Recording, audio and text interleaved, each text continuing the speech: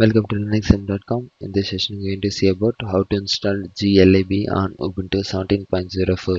glib is a bundle of three low-level system libraries written in C and developed mainly by GNOME. For installing glib on Ubuntu 17.04, for that first you need to add the repository for that command. add hyphen apt hyphen repository ppa ugn esan slash ppa and press enter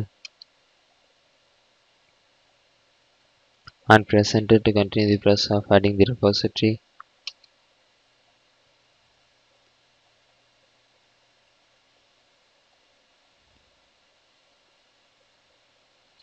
Now the repository has been get added successfully now for updating the newly added repository for that command apt hyphen get update and press enter.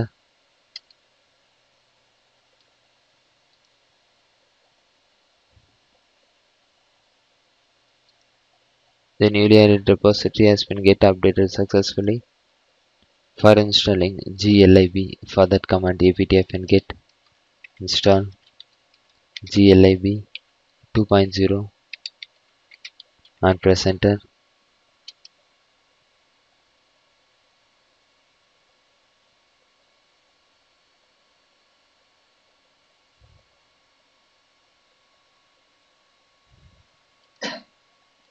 The glib package has been get successfully installed in my Ubuntu 17.04 machine. For using glib, for the type glib hyphen mk hyphen hyphen help and press enter. Here you can able to see the list of options that are present in the glib and by using these options you can able to use the glib on Ubuntu 17.04 in this session you have seen about how to install glib on Ubuntu 17.04 thank you for watching